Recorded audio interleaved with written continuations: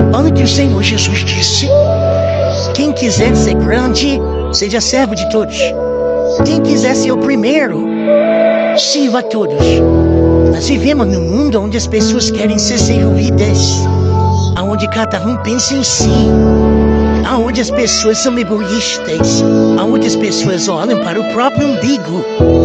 Quando você serve a Deus e ao seu próximo, você passa por lutas, mas de todas as lutas que você enfrenta, Deus te dá vitórias.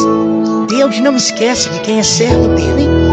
Quando você serve a Deus, pode tentar te prejudicar, tentar o prejudicar. José, jogado José lá no Egito, mas foi exatamente onde Deus queria ele para honrá-lo. Quem pensa que fazer mal acaba te promovendo.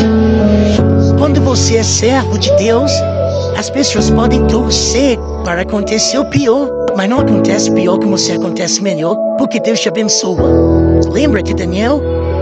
Sabe o que, que estava fazendo com Daniel? Esperando ele morrer e vai morrer. Os leões vão comer Daniel, vão acabar. Daqui a pouco Daniel já ama Daniel. E daqui a pouco ele vai lá na, na cova e fala: Daniel, servo do Deus vivo. E Daniel responde e Daniel sai da cova. Tem gente, de repente, tramando, armando, querendo, desejando seu mal, já se vai quebrar. Miguel, vem cá.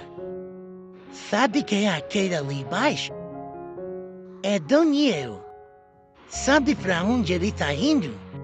Para uma cova cheia de leões. E sabe qual é o motivo? É porque não se dobrava diante dos homens. Só que tem um porém, Miguel. Lembra da oração dele lá, daquele dia? Vai gerar providência hoje, desce lá.